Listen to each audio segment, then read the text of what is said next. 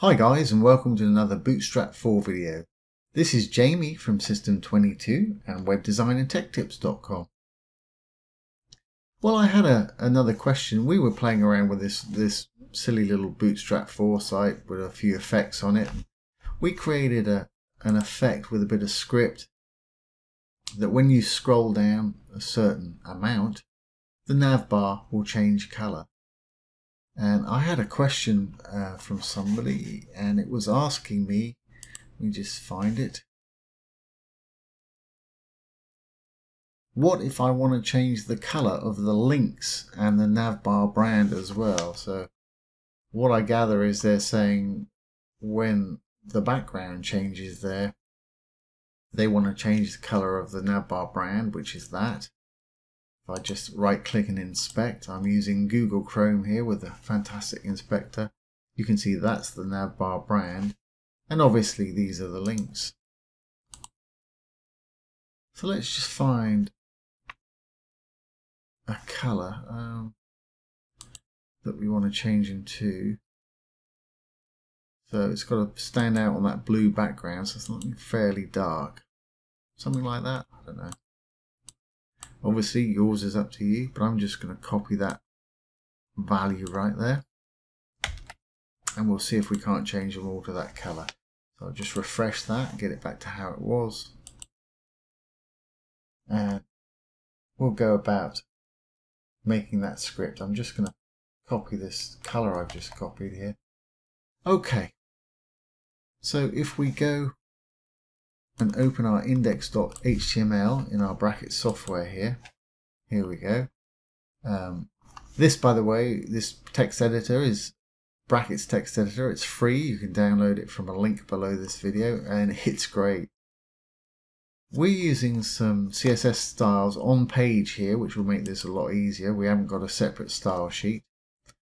So let's create a class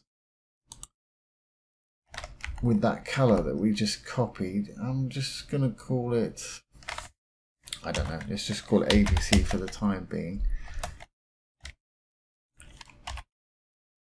Open, close some curlies, and we want to say color because we're going to be affecting that text there.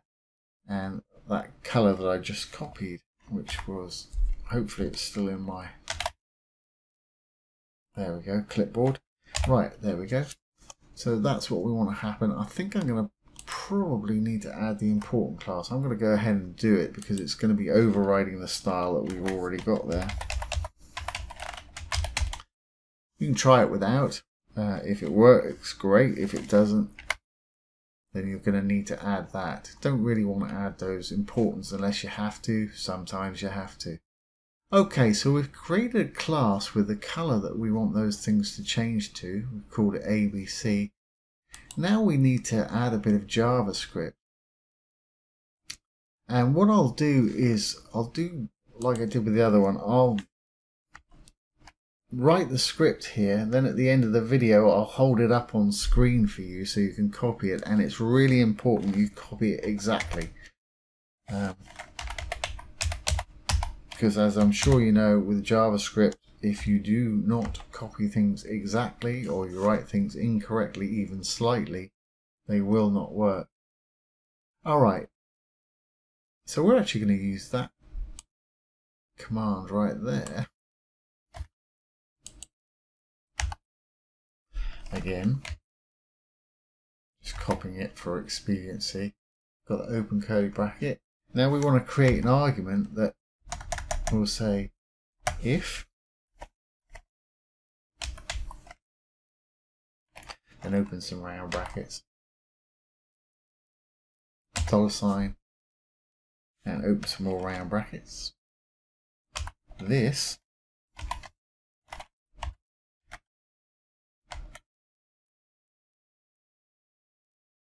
And we're going to use that scroll top again this that one right there. So if this outside the bracket there. Dot scroll top.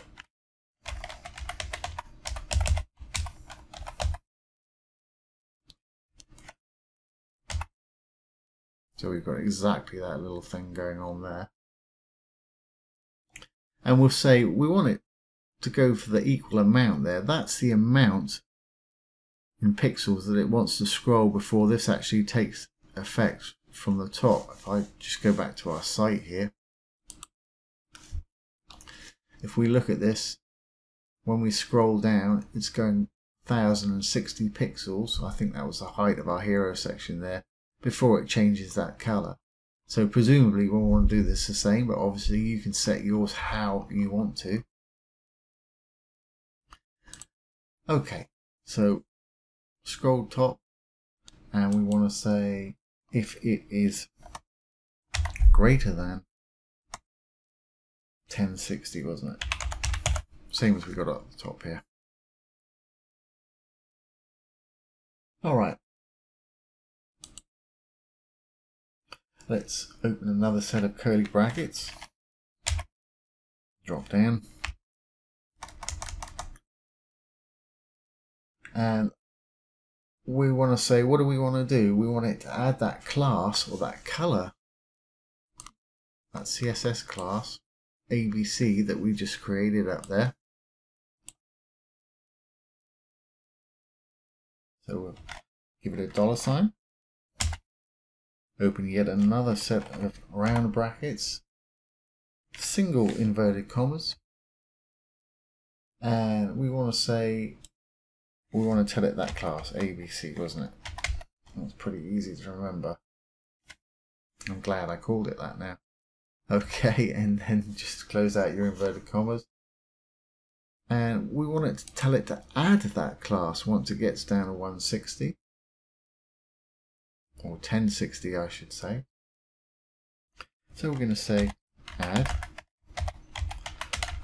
uh, as I mentioned before, it's really important you do this exactly. I've got capital for class and stuff like that. The capitals have to be correct. And let's, we've got to create basically another class to tell it to do this. So let's call it nav color, or let's just call it ncol for short, perhaps. Nav color you can call yours whatever you want just remember what you've called it and close out single inverted comma and we'll put a little semicolon on the end there so it goes and reads the next bit alright so we've got that now we want to do we want to say otherwise and to, to say otherwise just move this little curly across there so if this happens, blah, blah, blah, do this. Otherwise, we say else. Just give that little space there. Let's open some more curlies right there. And then what we want it to do is remove class. So what I'm going to do is I'm going to copy that line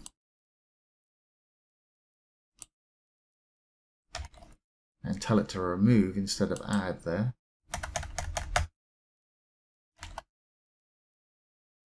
To remove. In other words, when it goes back up below there, it's going to take that class away. It'll go back to the original color.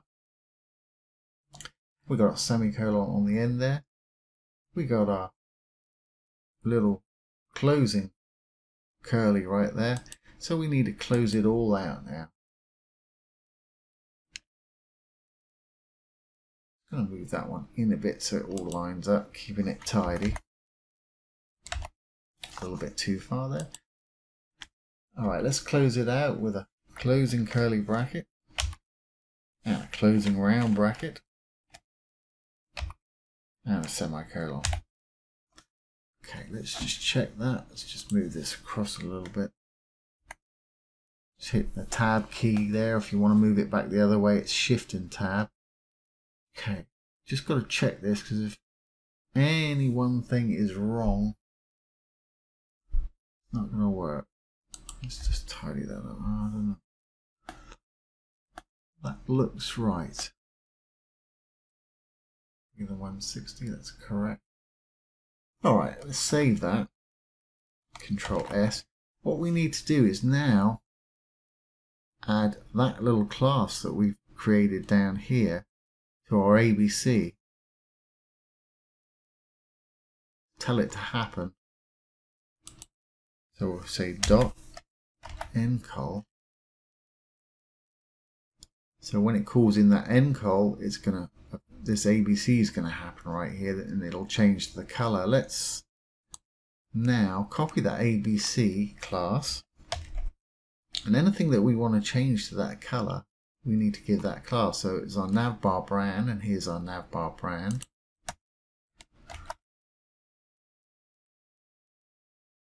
And let's see, we want to add it to our nav links as well, don't we? Here we are.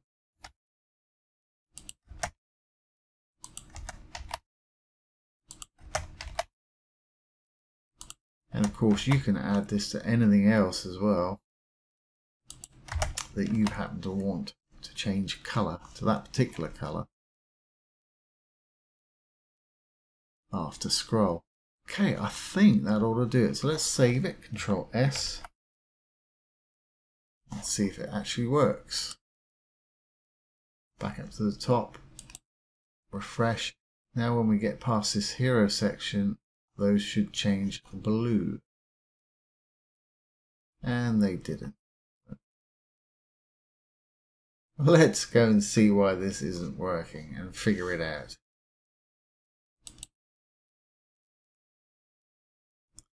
Okay, that all looks right.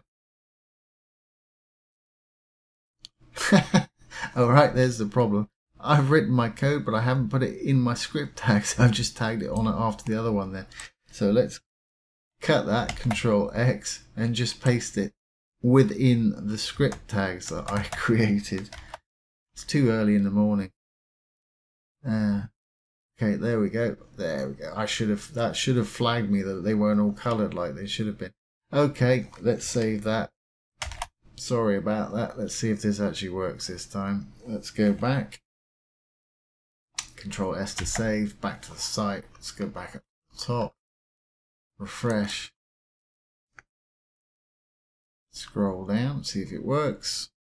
There we go. And now that navbar brand and our nav links are all changing to that color there.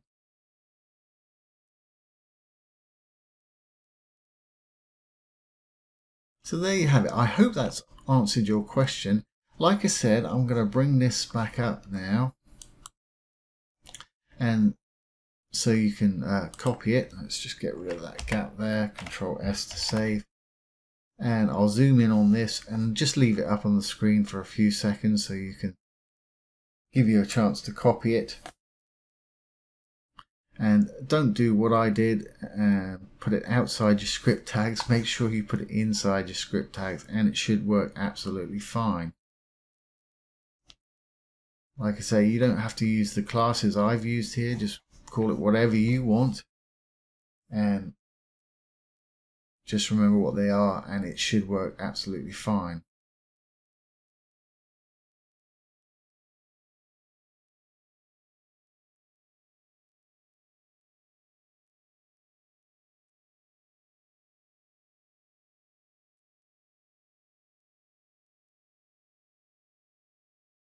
So I'm going to scroll back up to the top here. And just there's the class. And there's the other class we created right there.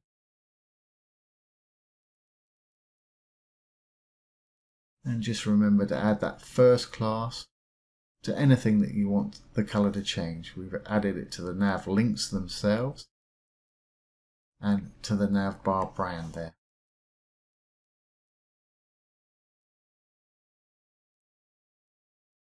So there you go. I hope that's answered your question and been useful to you.